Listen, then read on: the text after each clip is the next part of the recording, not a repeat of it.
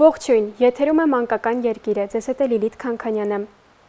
Հայաստանի առաջին հանրապետության տարիներին Գյումրի տեղափոխված Վահան Չերազի անունը շատ երեխաների ծանոթ չէ, թեև հենց Վահան Չերազն է զբաղվել այդ ժամանակների մանուկների շրջանում կազմակերպչական, կրթական ու սպորտի զարգացման հարցերով։ Նրանցից շատերը ցեղասպանության ժամանակ կորցրել են հարազատներին ու ծնողներին։ Վահան Չերազի հուշարձանի մոտ օրերս տեղի է ունեցել սկաուտների երթման արարողությունը։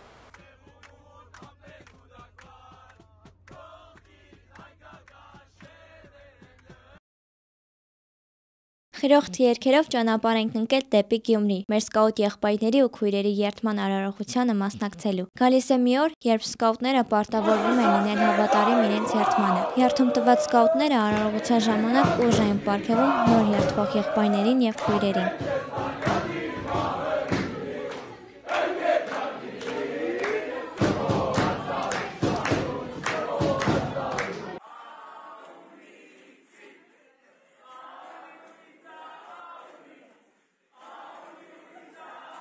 Հասնելուն պես մեզ դիմավորեցին Գյումրիի Վահան Չերազ մասնաճյուղի սկաուտները։ Այս մասնաճյուղը պատմական կարելի է համարել, քանի որ կրում է դեռ Արևմտյան Հայաստանում ֆուտբոլի զարգացմանը նպաստած հետո հայ պատայներին կրթած ու Հայաստանի առաջին հանրապետության տարիներին Գյումրի տեղափոխված Վահան Չերազի անունը։ Հենց նա է առաջին հանրապետության տարիներին համախմբել հայ որբերին ու զբաղվել Հոմենթմեն սկաուտական կազմակերպության պատայների կրթությամբ, զարգացրել սպորտը։ Հենց նրա անունը կրող մասնաճյուղի գրասենյակում ունեցանք հետաքրքիր ժամանց։ Խոսեցինք մեր խմբերի տարբերությունների մասին, սակայն հումորով։ Օրինակ, իսկ դուք սեղան ունեք, թե գետնին եք դնում ձեր իրերը։ Իսկ հերոստացույց հումորը հումոր, բայց մեր մասնաճյուղերը տարբերվում են իրարից միայն Գյումրիի ու Երևանի բարբառներով։ Դե մեր մեջ արևմտահայերը խոսողներ էլ կան, բայց սկաուտական հայերենն ընդհանուր է։ Ծառայել հայրենիքից,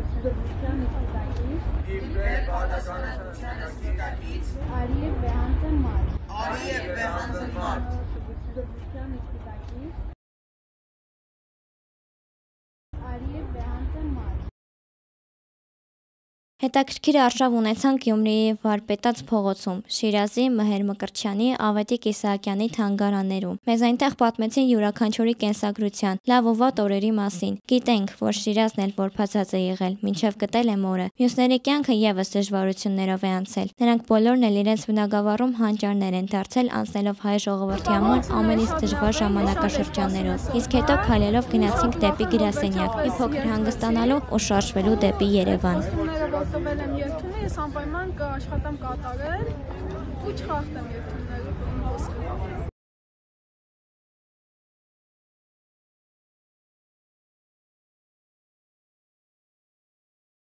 Մեր գործունեությունը Գյումրիի Վահան Չերազ մասնաճյուղի հետ ավարտվեց։ Կանչերով հրաժեշտ տվեցինք իրար ու շարժվեցինք։ Մի փոքր հյուրասիրություն էլ ստացանք մեծերի կողմից։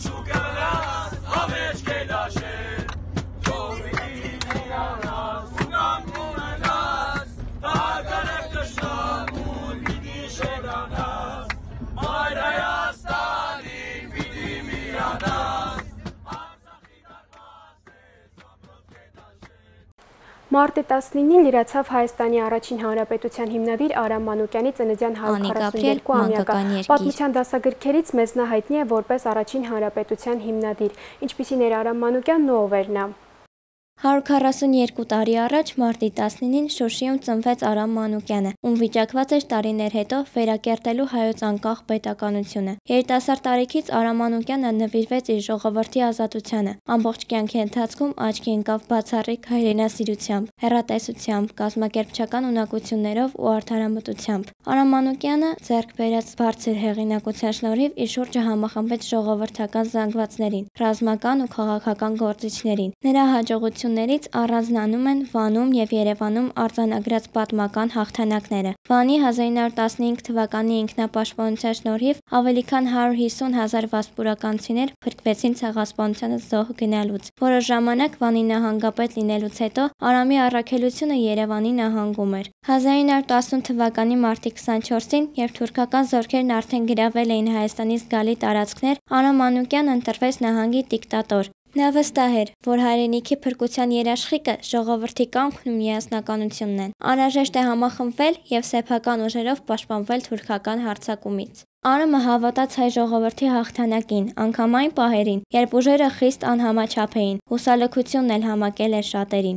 Արամ Մանուկյանի վճռականության շնորհիվ 1918 թվականի մայիսին Սարդարապատում, Բաշապորանում եւ Ղարաքիլիսիայում հայկական կանոնավոր զորքն ու աշխարհազորը ճշնամուն ջախջախեցին ու հայ ժողովրդին փրկեցին ոչնչացումից ու դրվեց Հայաստանի առաջին հանրապետության հիմքը։ Նորանկախ Հայաստանի ստեղծման եւ կայացման գործում ունեցած հսկայական ավանդի համար Արամ Մանուկյանն արժանացավ հանրապետության հիմնադրի կոչմանը։ Անի Գաբրիել, մանկական երկիր։ Մարտի 13-ին մեծանուն բանաստեղծ Եղիշե Չարենցի ծննդյան օրն էր։ Չարենցի ոչ բոլոր ստեղծագործություններն էին հասկանալի մեզ, փոքրերիս, քանի որ նա գրել է իր ապրած տարիների մասին, հայրի համար ծանր տարիների մասին։ Հիմա արդեն պատերազմից հետո շատ գործեր մենք էլ ենք հասկանում։ Առաջին անգամ 1919 թվականին Չարենցի մասին հարաճ թերթում խոսել է Նիկոլ Աղբալյանը։ Չարենցը դրանից հետո ողջևորված գրել է մի բանաստեղծություն, որը նվիրված է Նիկոլ Աղբալյանին։ Էլ ինչու ծիծաղեր հոգիս, երբ մի լուրջ քննադատ մի օր սարսելով դահլիճ նվոեն ավետեց ամբողջ աշխարհին, որ ծնվել է մի մեծ պոետ, ու ծնվել է երկիչ մի վառ, ու բերել է երկեր հրե, ցնծա նաերյան աշխարհ։ Նիկոլ Աղբալյանը, ով շատ հայտնի գիտնական հրապարակախոս էր, Երևանի Պետական համալսարանի հիմնադիրն ու կրթության նախարարը, Չարենցի մասին խոսել էր խորհրդարանում ու երիտասարդ գրողն իրեն նկատված էր զգացել։ Իսկ առաջին անգամ Եղիշե Չարենցի բանաստեղծությունը տպագրվել է, երբ նա եղել է 15 տարեկան։ Չարենցը գրել սկսել է շատ վաղ հասակից, բայց իր մուտքը գրական աշխարհ համարվում է 1912 թվականից։ 15 տարեկան հասակում նա գրել է իր առաջին բանաստեղծությունը, որը կոչվում է Ծաղիկները թեքվում են հես քամու օրորի տակից։ Չարենցը այդ ժամանակ հանդես էր գալիս Եղիշե Սողոմոնյան անուն ազգանունով։ Չարենցի ծնողները բնիկ պարսկահայեր են եղել, Մակու քաղաքից, բայց 1882-ից 1883 թվականին տեղափոխվել են Կարս։ 1897 թվականին ծնվել է Եղիշե Աբգարի Սողոմոնյանը։ Եղիշե Չարենցի թանգարանը բացվել է 1964 թվականին, բայց նյութերը հավաքելու շրջանը երկար է տևել եւ հանրության համար այն իր դռները բացել է 1975 թվականին։